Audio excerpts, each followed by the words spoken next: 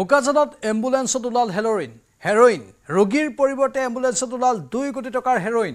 খটখটি আৰক্ষীৰ নাকা তালাচীত উদ্ধাৰ হয় হেৰইনখিনি। তেইছটা প্লাষ্টিকৰ চাবোনৰ বাকচত উদ্ধাৰ হোৱা হেৰইনখিনিৰ ওজন দুশ পঁয়ষষ্ঠি গ্ৰাম। ইম্ফলৰ পৰা গুৱাহাটী অভিমুখী এম্বুলেন্সত হেৰইন সৰবৰাহ কৰা হয়।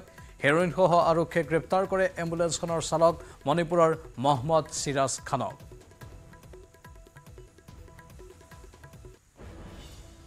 হেৰইন জব্দ হৈছে।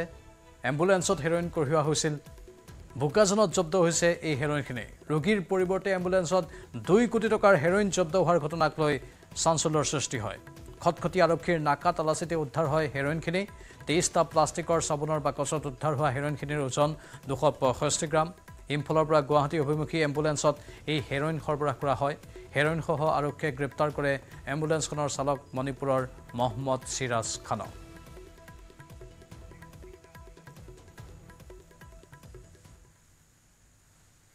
খবৰ কংগ্ৰেছৰ গুৰুত্বপূৰ্ণ বৈঠকৰ।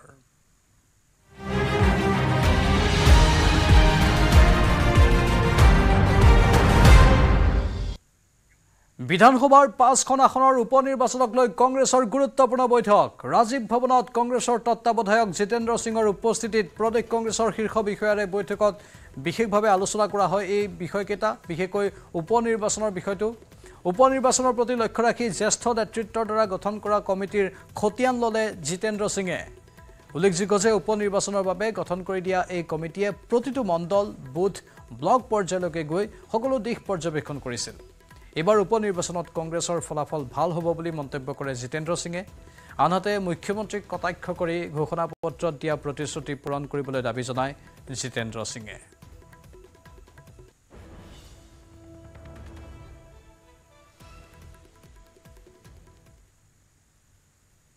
जो हमारे आगामी पाँच बाई इलेक्शन चुनाव आ रहे हैं, उनके बारे में चर्चा हुई है। यहाँ हमने पाँच कमेटियाँ बनाई थी under the senior leadership of state leaders वो गए हैं, फ़ील्ड में वो गए हैं, उनने बूथ, मंडल जो ब्लॉक है, उनके बारे में जानकारी ली है। और हमारे अखिल भारतीय कांग्रेस कमेटी के जो सचिव हैं, जिसमें साठे जी हैं और विकास जी हैं, ये दोनों भी होके आए हैं और फ़ील्ड में होके आए हैं। तो वहाँ की रिपोर्ट आई है बहुत अच्छा चुनाव की तैयारी है। जन सबसे बड़ी बात है कि जनता ने एक तरह से भारतीय जनता पार्टी और ये जो सरकार चल रही है भ्रष्ट सरकार चल रही है उसको नकार दिया है। तो एक बहुत अच्छा माहौल बन रहा है और हम मजबूती के साथ वो चुनाव लड़ेंगे और जिस तरह से पंचायत का चुनाव होता है उस तरह से हम चुनाव लड़ेंगे। चुनाव तो बहुत अच्छा होने वाला है। कांग्रेस पार्टी बहुत मजबूती से वहाँ चुनाव लड़ेगी और जीतेगी भी। क्योंकि आज जो एक माहौल बन रहा है सिर्फ ये पांच जगह नहीं लेकिन अ, पूरे प्रदेश के अंदर जो माहौल बना है कि हर मामले के ऊपर सरकार बिल्कुल फेल हो चुकी है जो भी वादे करे थे वो वादे पूरे नहीं हुए हैं और सरकार को अ, के ऊपर बिल्कुल विश्वास उठ गया है তিনিচুকীয়া বৰুৱাহোলা উচ্চ মাধ্যমিক বিদ্যালয়ত সহ শিক্ষকৰ লজ্জাজনক কাণ্ড পঞ্চম শ্ৰেণীৰ ছাত্ৰীক জননীৰ উৎপীড়নৰ অভিযোগ সহ শিক্ষক ভৈৰৱ ৰাজখোৱাৰ বিৰুদ্ধে যাৰ ফলত বিদ্যালয়খনত সৃষ্টি হয় উত্তেজনা উত্তেজনাপূৰ্ণ পৰিৱেশৰ। বহুদিনৰ পৰা সহ শিক্ষক ভৈৰৱ ৰাজখোৱাই বিদ্যালয়খনৰ কেইবাগৰাকী ছাত্ৰীক অশ্লীল ইংগিত দি অহাৰ অভিযোগ তুলিছে ছাত্ৰীসকলে।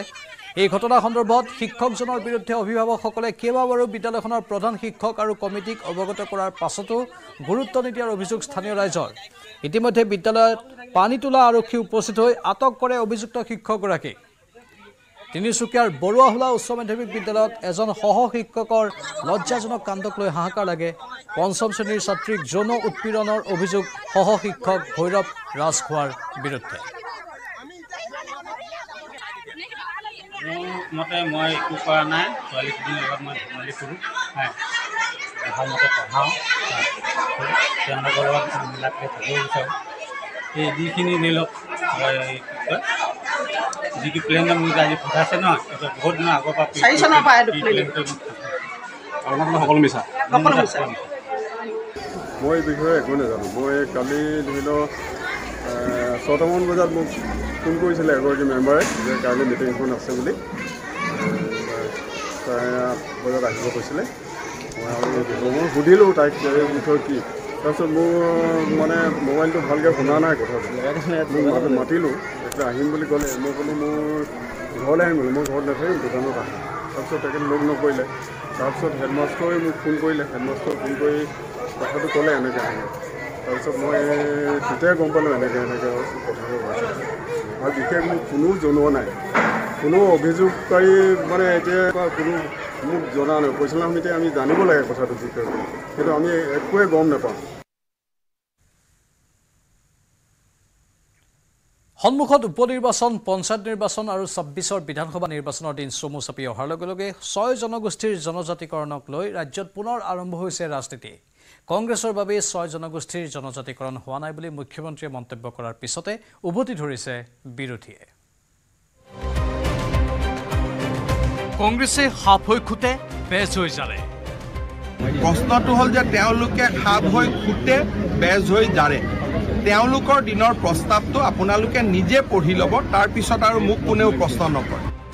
সন্মুখত অসমৰ বিধানসভা নিৰ্বাচন। নিৰ্বাচনৰ প্ৰাক মুহূৰ্তত আকৌ উত্থাপন হৈছে ছয় জনগোষ্ঠীৰ জনজাতিকৰণৰ প্ৰসংগ। ছয় জনগোষ্ঠীৰ জনজাতিকৰণক লৈ সদনত প্ৰশ্ন কৰিছিল ধুবুৰীৰ সাংসদ ৰকিবুল হুছেইন আৰু বৰপেটাৰ সাংসদ ফণীভূষণ চৌধুৰীয়ে। বিভাগীয় মন্ত্ৰীৰো স্পষ্ট মত এই পৰ্যন্ত কেন্দ্ৰৰ হাতত নাই জনগোষ্ঠীকৰণক লৈ কোনো স্পষ্ট ধাৰণা। ইয়াকে লৈ ৰাজ্যত শাসক বিৰোধী দলৰ মাজত তথা নিৰ্দিষ্ট জনগোষ্ঠী কেইটাৰ মাজত চলিছে ব্যাপক প্ৰতিক্ৰিয়া। এই ক্ষেত্ৰত মুখ্যমন্ত্ৰী হিমন্ত বিশ্ব শৰ্মাই পোনচাতেই দোষাৰোপ কৰিছে কংগ্ৰেছক। মুখ্যমন্ত্ৰীৰ মতে কংগ্ৰেছৰ কাৰণেই হোৱা নাই ছয় জনগোষ্ঠীৰ জনজাতিকৰণ। জনজাতিকৰণক লৈ কংগ্ৰেছে সাপ হৈ খুটে আৰু বেজ হৈ জাৰে। জনজাতিকৰণটো মোৰ কাৰণে ৰখি থকা নাই কংগ্ৰেছৰ কাৰণে ৰখি আছে। কংগ্ৰেছে বিধানসভাত কি প্ৰস্তাৱ পাছ কৰিছিল? যে অসমৰ বৰ্তমানৰ জনজাতীয়সকলক এন অ' চি ল'বই লাগিব চৰকাৰে। সেই প্ৰস্তাৱটো তেওঁলোকে কিয় বিধানসভাত পাছ কৰাইছিলে? তেওঁলোকৰ দিনত বিধানসভাৰ প্ৰস্তাৱটো পঢ়ি ল'লে। প্ৰশ্নটো হ'ল যে তেওঁলোকে সাপ হৈ ফুটে বেজ হৈ জাৰে। তেওঁলোকৰ দিনৰ প্ৰস্তাৱটো আপোনালোকে নিজে পঢ়ি ল'ব তাৰপিছত আৰু মোক কোনেও প্ৰশ্ন নকৰে। তেওঁলোকে কি ক'ব লাগিছিল যে ছয় জনগোষ্ঠীক জনজাতীয়কৰণ কৰক? তেওঁলোকে লগত লিটিঙা এটা কিয় লগাই থলে? যে বৰ্তমানৰ জনজাতীয় লোকৰ ক্ষতি নোহোৱাকৈ। সেই শব্দটো কিয় লিখাই ৰাখিলে কংগ্ৰেছে? মুখ্যমন্ত্ৰীৰ মন্তব্যত জাঙুৰ খাই উঠিছে এ পি চি চিৰ সভাপতি ভূপেন বৰা সাংসদ ৰকিবুল হুছেইন বিৰোধী দলপতি দেৱব্ৰত শইকীয়া আৰু বিধায়কসকল। মুখ্যমন্ত্ৰীক উভতি ধৰিছে বিৰোধী দলপতি দেৱব্ৰত শইকীয়াই। হয় কংগ্ৰেছে যোৱা দহ বছৰত কৰিব নোৱাৰিলে। কিন্তু বিজেপি দলৰো ইতিমধ্যে দহ বছৰ হৈ গ'ল। মই ভাবোঁ অসমৰ ছয় জনগোষ্ঠীৰ যিবিলাক নেতাসকল আছে তেখেতসকলক প্ৰায়ে মুখ্যমন্ত্ৰীয়ে বেয়া শুনি আৰু আলোচনা মানে কৰিবলৈ মাতে। কি আলোচনা কৰে তো তেওঁলোকেতো ৰাজহুৱা নকৰে। এই আলোচনাৰ নামত মানে গুৱাহাটীলৈ মাতি মাতি এনেকুৱা সন্দেহ হৈছে যে তেওঁলোকক কিবা প্ৰলোভন দি থাকে। কংগ্ৰেছৰ বিধায়িকা শিৱামণি বৰা আৰু নন্দিতা দাসৰ প্ৰত্যাহ্বান মুখ্যমন্ত্ৰী মুখ্যমন্ত্ৰীৰ সাহস আছে যদি ছয় জনগোষ্ঠীৰ জনজাতিকৰণ কৰক আৰু তাৰ সম্পূৰ্ণ কৃতিত্ব নিজে লওক। কংগ্ৰেছৰ কাৰণে হ'ব পাৰে নিজে কৰি দেখাওক না। কংগ্ৰেছে যদি কৰিব পৰা নাই তেওঁ কৰি নেদেখাই কেলে? লোকৰ ওপৰত হেৰি চাপৰিলে মেঘ আঁতৰি নাযায় নহয়। কংগ্ৰেছে কিহত বাধা পঠালি দিছে? কংগ্ৰেছেতো কেতিয়াও বিধি পাতালি দিয়া নাই? মই সেইকাৰণে কৈছোঁ যে আপোনালোকে এইবিলাক বাদ দিয়ক। আপোনালোকে জনসাধাৰণে বিচাৰিছে ছয় জনগোষ্ঠীৰ জন জনজাতিকৰণ সেই আপোনালোকে কৰক। ইফালে সংসদৰ মজিয়াত এই সন্দৰ্ভত প্ৰশ্ন কৰি কোনো সদুত্তৰ নাপালে অগপৰ কোচ ৰাজবংশী সম্প্ৰদায়ৰ সাংসদ ফণীভূষণ চৌধুৰীয়ে। বিপুল বৰ্মনৰ report News eighteen Assam North East. ৰাজ্যৰ ছয় জনগোষ্ঠীৰ জনজাতিকৰণক লৈ কেন্দ্ৰই বল ঠেলিছে ৰাজ্য চৰকাৰলৈ। কেন্দ্ৰই উল্লেখ কৰা মতে ছয় জনগোষ্ঠীৰ পৰ্যাপ্ত তথ্য দিয়া নাই ৰাজ্য চৰকাৰে। কেন্দ্ৰই কৰা এই মন্তব্যৰ পাছতে প্ৰতিক্ৰিয়া সদৌ কোচ ৰাজবংশী ছাত্ৰ সন্থাৰ কেন্দ্ৰীয় সভাপতি অতুল বৰ্মনৰ ৰাজ্য চৰকাৰৰ বিৰুদ্ধে দিছপুৰত প্ৰতিবাদী কাৰ্যসূচী গ্ৰহণ কৰিব সংগঠনটোৱে। বাইছ আগষ্টত আক্ৰাছুৱে প্ৰতিবাদৰ আহ্বান জনাইছে। মুখ্যমন্ত্ৰীয়ে বাৰম্বাৰ কোচসকলক প্ৰতাৰণা কৰি অহাৰ অভিযোগ আক্ৰাছুৰ ছয় জনগোষ্ঠীৰ জনজাতিকৰণৰ কাম নব্বৈ শতাংশ আগবাঢ়িছে বুলি মুখ্যমন্ত্ৰীয়ে আভুৱা ভৰাৰ অভিযোগ উত্থাপন কৰিছে সংগঠনটোৱে। মুখ্যমন্ত্ৰীৰ কথাক মিথ্যাচাৰ আখ্যা সংগঠনটোৰ সভাপতিগৰাকীয়ে আমি আগতেও কৈছোঁ চাওক হিমন্ত বিশ্ব শৰ্মা ডাঙৰীয়া আপুনি যদি সঁচাকৈ প্ৰকৃত ভাল মানুহ হয় আপুনি যদি মিছলীয়া নহয় তেতিয়াহ'লে আপুনি প্ৰমাণ কৰি দিয়ক যে আপুনি মিছা কথা কোৱা নাই। আমি ধৈৰ্য ধৰি বহু বছৰ আমি অপেক্ষা কৰিলোঁ। এতিয়া আমি গম পাম যে আপোনালোকে যদি এই প্ৰতিবেদন দাখিল নকৰে তেতিয়াহ'লে গম পাম আপোনালোকে যে সম্পূৰ্ণ মিছলীয়া। কাৰণ আজি তাৰিখলৈকে আপোনালোকে কেন্দ্ৰীয় চৰকাৰৰ ওচৰত প্ৰতিবেদন দাখিল কৰা নাই এইটোতো এটা খুব ডাঙৰ কথা। কাৰণ আপোনালোকক বাৰে বাৰে অনুৰোধ কৰি আহিছোঁ আপোনালোকে প্ৰতিবেদনখন দাখিল কৰক। আৰু আপোনালোকে কৈ আছে যে নব্বৈ শতাংশ কাম হৈছে। তে দহ শতাংশ কাম আপোনালোকে কিয় কৰিব নোৱাৰে? ইফালে জনজাতিকৰণক লৈ প্ৰতিক্ৰিয়া মটক সংগঠনৰ।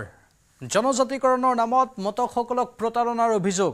মটক জনগোষ্ঠীয় সংগঠনসমূহে সাব্যস্ত কৰিব প্ৰতিবাদ। ষোল্ল আগষ্টত জিলাই জিলাই পাঁচ ঘণ্টীয়া অৱস্থান ধৰ্মঘট বাইছ আগষ্টত গুৱাহাটীৰ চচলত দুঘণ্টীয়া অৱস্থান ধৰ্মঘট ছাব্বিছ আগষ্টত প্ৰতিখন জিলাৰ আয়ুক্ত কাৰ্যালয়ৰ সন্মুখত ধৰ্ণা ছয় ছেপ্টেম্বৰত দিল্লীত ছয় জনগোষ্ঠী ঐক্যমঞ্চৰ প্ৰতিবাদ তেৰ ছেপ্টেম্বৰত ৰেল অৱৰোধ সাতাইছ ছেপ্টেম্বৰত বিমানবন্দৰ অৱৰোধ চাৰি অক্টোবৰত এশ ঘণ্টীয়া অৰ্থনৈতিক অৱৰোধ কাৰ্যসূচী দুহেজাৰ চৈধ্য বৰ্ষত যেতিয়া প্ৰথমবাৰৰ কাৰণে বিজেপিয়ে শাসনভাৰ গ্ৰহণ কৰিছিল সেই সময়ৰ পৰা আচলতে বিজেপিয়ে শাসন লাভ কৰিবলৈ সক্ষম হোৱাৰ অন্তৰালত অসমৰে ছটা জনগোষ্ঠীৰ যথেষ্টখিনি অৱদান আছিল। আৰু আমি তেখেতসকলক চৰকাৰ গঠন কৰাৰ ক্ষেত্ৰত অসমৰ ক্ষেত্ৰত আমি তেখেতসকলক যথেষ্টখিনি আমি তেখেতক অৰিহণা যোগোৱা হৈছিল আমি সহযোগ কৰা হৈছিল। কাৰণ আমি আশা কৰিছিলোঁ যে বিগত সময়ত পোন্ধৰ বছৰ শাসন কৰা তাৰ আগৰ কংগ্ৰেছ চৰকাৰে যিহেতু আমাৰ বিষয়টো গুৰুত্ব সহকাৰে গ্ৰহণ নকৰিলে বা বিবেচনা বিবেচনা নকৰি বিষয়ত বিশেষ গুৰুত্ব প্ৰদান কৰা দেখা নগ'ল।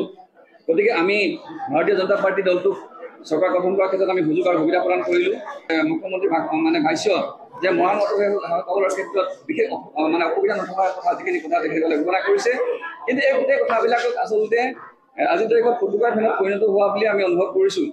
যদিওবা আজি কোৱা হৈছে যে আমি যথেষ্ট আশাত আছিলোঁ বা আমি আশা প্ৰকাশ কৰিছিলোঁ যে আমাৰ সমস্যা সমাধান কৰাৰ ক্ষেত্ৰত অসমৰ আটাইতকৈ দক্ষ বুলি বিবেচিত মুখ্যমন্ত্ৰী ডাঙৰীয়া এই সমস্যা সমাধান কৰাৰ ক্ষেত্ৰত আগভাগ গ্ৰহণ কৰিব। কিন্তু এতিয়ালৈকে তেখেতে দিয়া প্ৰতিশ্ৰুতি এতিয়ালৈকে পালন কৰা হোৱা নাই পালন কৰা নহ'ল। আৰু আমি ভাবোঁ যে ৰাজনৈতিকভাৱে আচলতে যিহেতু আমাৰ গোটেই সমস্যাটো সমাধান হ'ব লাগিব গতিকে তেখেতসকলৰ ৰাজনৈতিক অভিসন্ধি যাতে নষ্ট নহয় বা এই ক্ষেত্ৰত যাতে তেখেতসকলৰ অসুবিধা নহয় এই গোটেই কথাখিনি লক্ষ্য ৰাখি আচলতে আমাৰ বিষয়টো এনেধৰণে ওলোমাই ৰাখিছে বুলি মই আমি ভাবোঁ।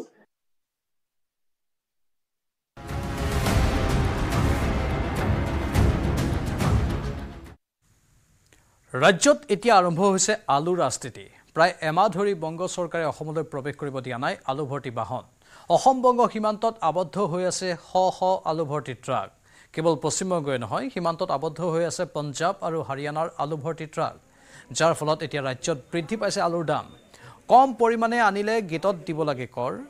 আকাশলংঘী মূল্যবৃদ্ধি ৰোধৰ বাবে চৰকাৰে গঠন কৰিছিল টাস্ক ফ'ৰ্চ কিন্তু আজিলৈ বজাৰত দেখা পোৱা নগ'ল টাস্ক ফ'ৰ্চক ইপিনে আলু পিঁয়াজৰ মূল্যবৃদ্ধি ৰোধত ব্যৰ্থ হোৱা বুলি আও প্ৰকাৰে হাত দাঙিলে যোগান মন্ত্ৰী ৰঞ্জিত দাসে।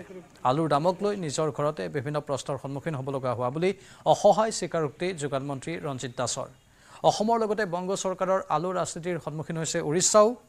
সীমান্তত আলু ভৰ্তি ট্ৰাক আবদ্ধ কৰি থোৱাৰ ফলত উৰিষ্যাতো সৃষ্টি হৈছে আলুৰ নাটনি যাৰ বাবে ৰাষ্ট্ৰীয় কৃষি সমবায় বিপণন ফেডাৰেশ্যনৰ জৰিয়তে তিনিশ টন আলু ক্ৰয় কৰাৰ সিদ্ধান্ত লৈছে উৰিষ্যা চৰকাৰে।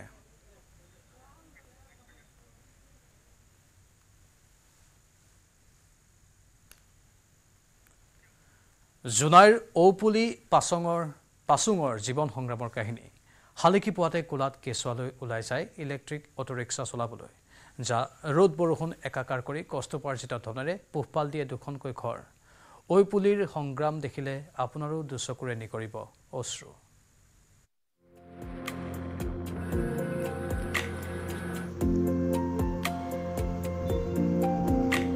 তাই মোৰ সাহস। তাই নহ'লে গাড়ী চলাই ভাল নালাগে। তাইতো মোৰ সাহস হয় তাই হলেহে ভাল লাগে গাড়ী চলাবলৈ। তাই নহলে ভাল নালাগে। বিবাহ পাশত আবদ্ধ হোৱাৰ ঠিক এবছৰৰ পিছতেই স্বামীক হেৰুৱা এগৰাকী মহিলাৰ ভাষ্য। শালিকি পুৱাতে কোলাত কেঁচুৱাটোলৈ ওলাই যায় নিজৰ ইলেক্ট্ৰিক অটৰিক্সাখন লৈ মনত অদম্য ইচ্ছা শক্তি আৰু সাহস থাকিলে পুৰুষৰ সমানেই মহিলায়ো কৰিব পাৰে সকলো কাম। তাৰ এক জ্বলন্ত উদাহৰণ দাঙি ধৰিছে জোনাইৰ এইগৰাকী মহিলাই।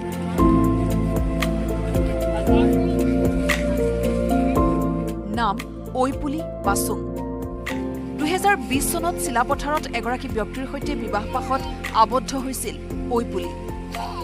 কিন্তু বিয়াৰ ঠিক এবছৰৰ পিছতেই স্বামীক হেৰুৱাইছিল। স্বামীক হেৰুৱাৰ পিছতেই জোনাইৰ দুই নং মিলনপুৰ স্থিত নিজ মাতৃগৃহত থাকি এইদৰেই এতিয়া জীৱন সংগ্ৰাম চলাইছে। নিজৰ অদম্য সাহসেৰে এই ইলেক্ট্ৰিক ৰিক্সাখনৰ চকা ঘূৰাই ঘূৰাই জীৱন যুদ্ধত আগবাঢ়ি গৈছে ঐপুলি পুৱাই কোলাত নিজৰ কেঁচুৱাটোলৈ ওলাই গৈ দিনটোত ভাড়া মাৰি পোৱা টকাৰে ঐপুলিয়ে নিজ মাতৃগৃহৰ লগতে স্বামীগৃহক পোহপাল দিছে। ঐপুলিৰ এনে অদম্য কৰ্মৰাজিক বহু মানুহে প্ৰশংসা কৰিছে যদিও মহিলাই ইলেক্ট্ৰিক ৰিক্সা চলোৱা বুলি একাংশই কৰিছে ককৰ্থনা। মই অনুভৱ কৰিছো যে কিছুমান মানুহে কয় যে এতিয়া কিছুমান ষ্টুডেণ্টে উঠিছে তেতিয়া মোক কৈছে তুমি চলাব জানা জানো? মই কৈছো কিয় নোৱাৰিব? ছোৱালী মানুহ হ'লেও পাৰিবা যদি তোমাৰ সাহস আছে। কৈছো অকল ছোৱালী যে কৰিব নোৱাৰে কথা নহয় তোমাৰ যদি সাহস আছে তুমি কৰিব পাৰিবা। হাৰ মানিব নালাগে সেইটো কৈছো। উপাৰ্জন তেনেকে আপোনাৰ যদি ভালকে হয় তো আপোনাৰ কেতিয়াবা পোন্ধৰশ টকাও বাচে কেতিয়াবা এক হেজাৰ তেনেকে বাচে আৰু। তেনেকে মই কিছুমান হাজিৰা মাজিৰা কৰি তেনেকে হাজিৰাও কৰিছো আগতে। তেতিয়া গাড়ী নাছিলে তেতিয়া মই খেতি কৰিছো লোকৰ ঘৰত হাজিৰা কৰিব গৈছো তেতিয়া নিজে মাটি বন্ধককেও লৈছো তেনেকে কৰি খাই আছো আৰু। পুৰুষ মহিলা বুলি কোনো কথা নাই। মনত অদম্য ইচ্ছাশক্তি আৰু সাহস থাকিলে মহিলায়ো কৰিব নোৱাৰা কাম এই পৃথিৱীত নাই। এই আদৰ্শৰেই ঐপুলিয়ে এতিয়া দিনে নিশাই চলাই গৈছে জীৱন সংগ্ৰাম।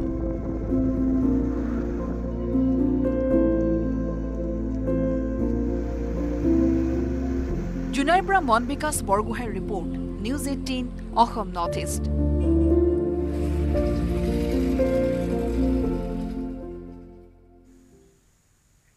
সময় হৈছে এতিয়া বাতৰিৰ পৰা বিদায় লোৱাৰ। নমস্কাৰ। মাইথান ষ্টিল নহয়।